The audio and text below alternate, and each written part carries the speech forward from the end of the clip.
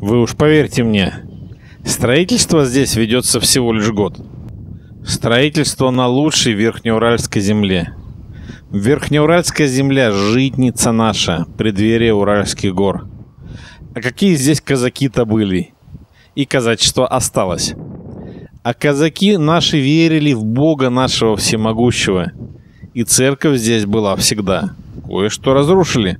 Но здесь, у истоков родников, пожалуй, лучшей воды будет возведен храм. Часовня есть, но храм Господень вы увидите сразу. И почему это хорошо?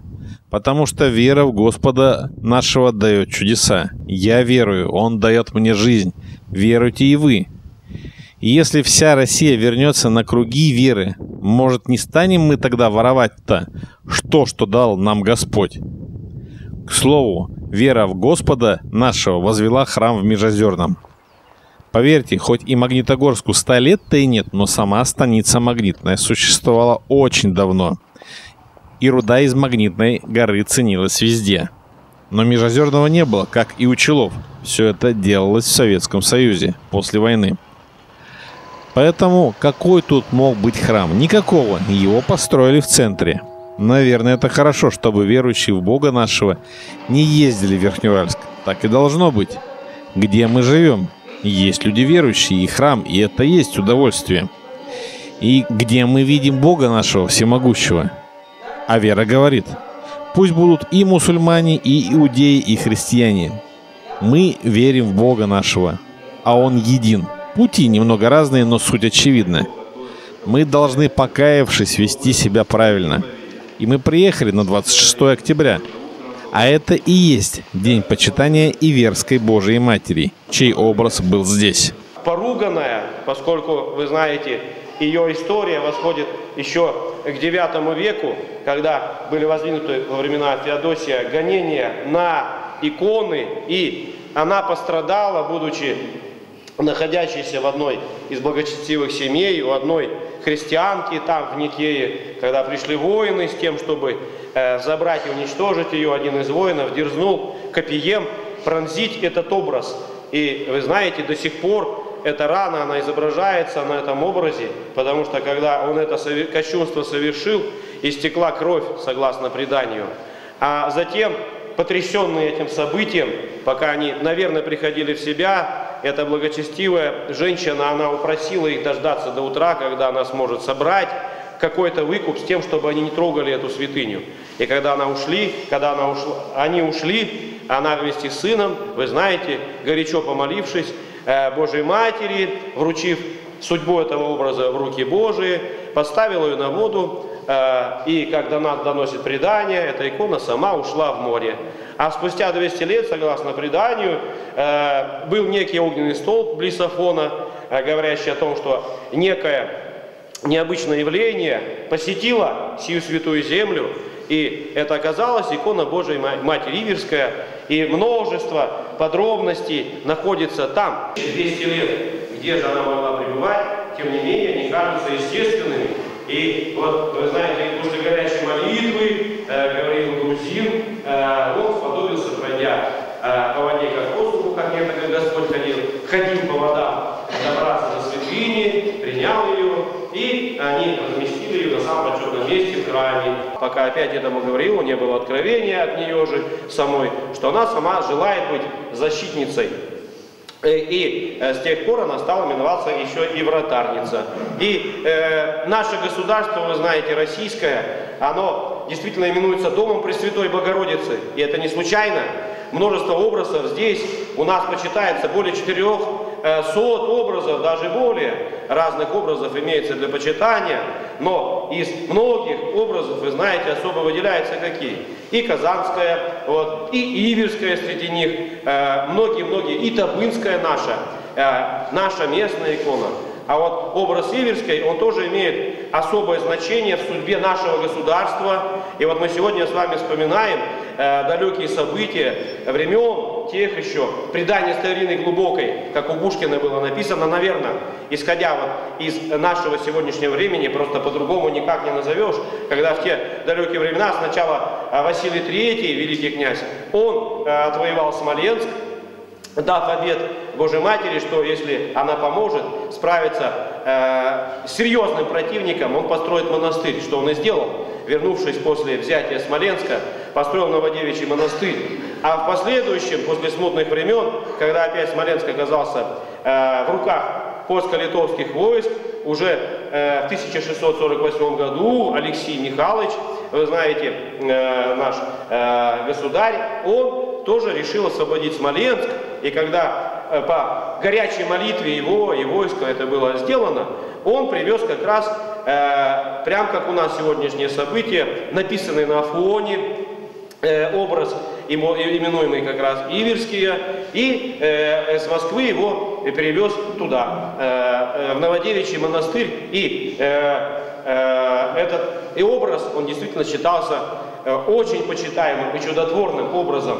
И э, лишь только когда праздновалось 300-летие рода Романовых, вот этот образ был перенесен в Чудов монастырь в Москву и больше никогда не возвращался практически до последнего времени в монастырь, э, поскольку началась, начались перемены после 17 года, и, э, слава Богу, этот образ не был уничтожен, но он был размещен э, в музее как величайший образ искусства, как мы знаем. Но для нас не искусство важно, а прежде всего молитвы, которые высылали пред ним наши предки, вот, и лишь во времена правления уже нынешнего президента Владимира Путина он явился э, на свое место. А вот у нас сегодня, дорогие друзья, у нас тоже сегодня замечательный праздник, у нас тоже э, принятие, перенесение этого образа, вот, а, о котором не все, наверное, до конца знают, именно об этой иконе конкретной. Э, и э, тем людям, которые занимались, конечно, поклон нижайший ну, спасибо Господи, братья и сестры, на самом деле, э, ну, лично для меня очень волнующий день, э, потому что э, икона должна была находиться здесь еще 6 лет назад. В 2013 году, именно в октябре, а икону, мы принесли икону Советского монастыря горы Афон. И эта икона должна была сюда прийти, но так сложилось.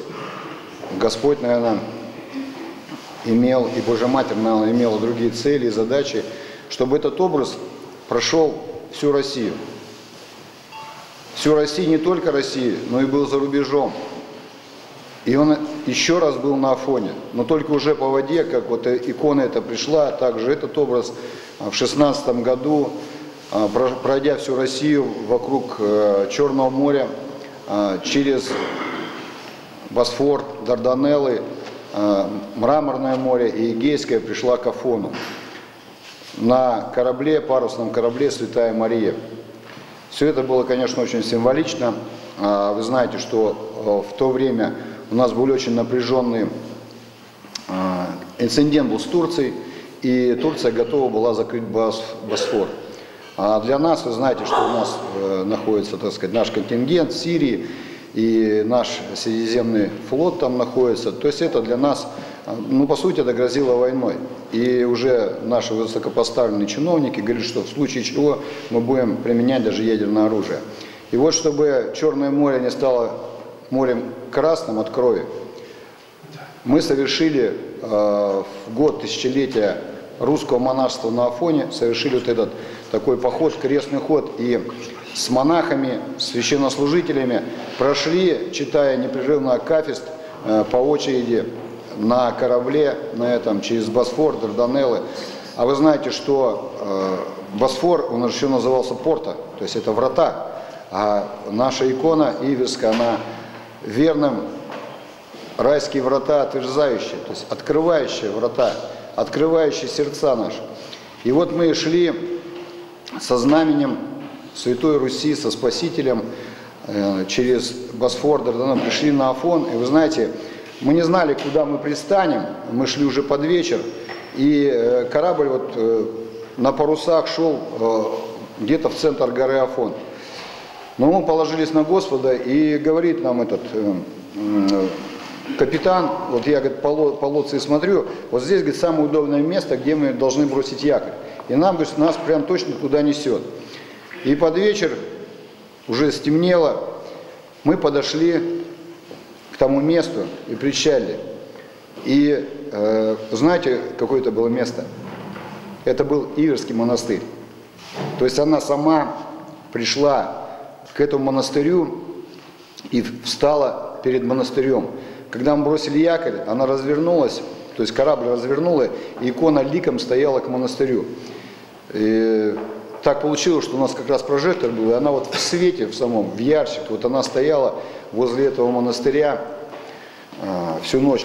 После чего а, с русского подворья в честь э, иконы Троеручица э, монахи э, пришли к нам на корабль, и мы на корабле уже обходили весь Афон, значит, таким крестным ходом молитвенным. И в день а, Вознесения креста, вот 27 сентября, а начали мы, мы туда прибыли 21 сентября на Афон, вот, мы как бы завершили этот обход на корабле и причастились на, прямо на корабле, вот на, причастились, монахи приехали к нам на лодке, туда на лодках человек 20, наверное. Вот мы там сидели, так сказать, друг друга утешали. А кроме того, что можно сказать об этой иконе? Эта икона, она действительно, она была и э, на Дальнем Востоке, обходила по границе с Китаем. Э, была эта икона, и по границе проносили ее с японским, так сказать, э, границей. Тихий океан, который называется Японским морем. Прошла эта икона крестным ходом по самой длинной реке Аби, где, так сказать, заходила в каждый поселочек, в, каждую, в каждый населенный пункт на казачьем струге, атаман Ермак. Вот. И во многих других крестных ходах она участвовала. То есть перед этой иконой она уже намолена, перед ней, я не могу сказать, сколько людей молилось, но могу сказать, что больше Э, нескольких сот тысяч. То есть несколько сот тысяч людей прошло через эту икону, молитвенно, плача. Э, проходили с ней чудеса, она мироточила дважды. Эта икона, когда мы были э, в детском приюте в Москве, она замироточила. И еще были в одном из храмов, там 12 престолов, вот она тоже там таким покрылась такой испариной, испариной мироточивой. И по благословению митрополита Алтайского и Барнаульского Сергия икона находилась в храме Николая, Николая Угодника. И после значит, службы проходил крестный ход. Вот людей было очень много, обнесли крестным ходом, а э, такие очень высокие там ступеньки, и женщина была с а, девочкой, по-моему, лет 12, и она не ходячая девочка. В общем, она не смогла пройти крестным ходом на коляске она. И когда заносили, просто взяли и опустили на нее икону. Ее, на нее икону опустили, вот, еще там какое-то время в Барнауле побыла икона, и ушли, значит, э, э, вверх по течению Аби, туда ушли, и потом через э, несколько э, дней, может быть, через две недели где-то, вернулись обратно в тот же храм. И вот эта женщина, она прям вот э, радостная, хотела, дайте мне слово, дайте, ну, что случилось? Она говорит, вы знаете, а вот вы прикладывали икону, да, девочки. Вот. И после этого, значит, э, мне стали давать деньги, а кто-то сунул визитку. Доктор какой-то дал визитку, и она по этой визитке позвонила, и доктор принял ее. И когда он ее как бы говорит, а вот девочка ваша, говорит, у нее ножки это, ну как бы, может она ходить, начать. И она, ну нужно было купить, значит, такие типа ходунки, да. А денег не было, женщина это. Но она вспомнила, что что-то нам денег не давали. Она э, взяла эти деньги, открыла, и оказалась ровно та сумма, которая нужна для покупки вот этих ходунков. И вот эта девочка уже через две недели, она уже на этих ходунках стояла. То есть вот э, такое чудо произошло вот с этой иконой. Ну, еще расскажу, там еще одно чудо для женщин утешение будет. Такое благодатное было внутри ощущение желание, не знаю, желание сгореть просто. Потому что от того огня внутри нашего, так сказать, греховного, что мы действительно живем по грехам, много видим же, столько Божья Матерь нам помогает, утешает. А мы вот мы не справляемся. Ну, у нее очень много любви, потому что она, она вместила всю любовь Вселенной, ее вот вместившая все в себя. и стал вот этим ковчегом, новым ковчегом завета, который идет сегодня не по воде, там, не, не, не, по, не по морю, не по суху. Она просто идет по нашим сердцам, отверзая нам двери райские внутри наших сердец. Потому что наши сердца, к сожалению, стали тем Ирихоном, знаете город Иерихон, вокруг которого ходили иудеи с ковчегом завета. Они поклонялись рогатому богу, сатане не поклонялись. И когда прошли вокруг него, то рухнули эти стены зла. И вот когда Божья Матерь приходит, почему он плачет? Да потому что наши стены зла, они разрушаются. Мы становимся единым народом. Мы становимся братьями и сестрами, мы друг друга начинаем чувствовать, слышать и видеть. Божья Матерь вот таким крестным ходом, своей любовью, вот это все отверзает. Я расскажу один случай еще, если я не утомил вас. Вот. Знаете, мы очень много ходили э, с иконой по тюрьмам. И вот однажды, я никогда не забуду случай, это было в Тавде, там Тавдалак, бывший. И мы э, зашли в один лагерь заключенных. Там небольшой храм Серафима Саровского. Вот там самые заключенные его построили, у них такие написаны иконки там. И вот собралось человек сто. Ну, кто-то, наверное, действительно поверил, кто-то, чтобы на работу не пойти. И вот они собрались и начали петь Акафист, молитву Божьей Матери. И вот такое чувство, кому горло подкатил, поем, я вот тут возле иконы стал, икона тут, ребята, клирос, батюшка читает, и все, смотрю, начинают плакать. Вот прям и певчие не могут петь даже. А я взад посмотрел, стоят эти люди с изуродными лицами, жизнью изуродными. И у них детские глаза не все плачут. Вот эти сто человек, уголовников, они все плачут. История очевидна. То, что вам рассказали, и это есть правда – потому что список иконы такой же, как и оригинал.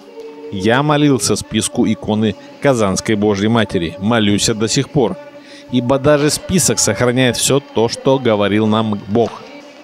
Вратарница. Она показывает верующим, что можно укрепиться в вере и отводит от дома недуги. И поэтому в крестном ходе лучше, осадив себя на колени и прося Бога нашего, пройтись под ней – тоже сделали и жители Межозерного, как и гости. Господь Бог велик, но вера в Него дана не всем. Что говорит Господь? И это в заповедях есть. Все ли мы такие? Поверьте, не все. Но рано или поздно тот, кто веровал, сделает правильный выбор. Покается и будет служить Богу нашему. Вариантов по сути нет. Нельзя жить в грехе, но кто-то живет. А вот затем что будет? Жизнь человеческая для них прометнулась. Они жили во грехе, воровали и гуляли. Но не для всех, и это есть. Мало кто видит сатану, но тот, кто видит, и для него Господь Бог идеал. Или вы что думали? Что он может совратить Господа нашего? Это просто невозможно. А другие ведутся на сатанинские оргии и воруют, и убивают – но смысл будет один. Одна будет битва, и на чьей вы стороне вам решать. Я-то знаю, на чьей стороне я буду.